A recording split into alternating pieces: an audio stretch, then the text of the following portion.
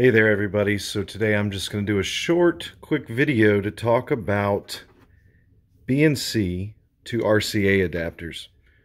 These are two BNC to RCA adapters that you can use on professional video equipment and there is a definite difference between the two of these. This one right here would represent Mr. El Cheapo on Amazon, eBay, or anything.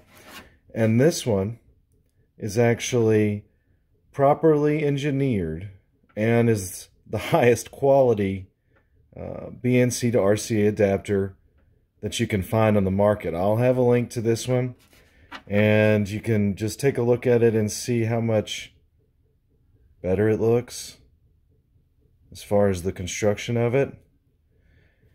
And I'm going to tell you the biggest problem here is that this this one looks like it would be good enough, right? Well, I'm about to use my PVM here today, 1405, and just so I can show you how bad these work compared to the nice ones, I've got some component cables here. Excuse me.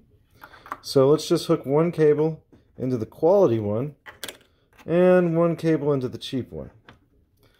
Now, if this cable moves at all, you'll notice the one on the right here, it is super solid. Like, you have to do a forceful pull on your BNC, or I'm sorry, your RCA plug to get that out. However, over here,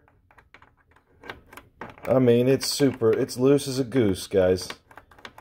So, what happens is your cables will just move a little bit like that, slightly, and you may lose continuity altogether on this plug, and your picture will go out, or worse, if you're dealing with RGB or component, you'll lose an entire color, and then you'll have to try to wiggle it and keep it in a spot.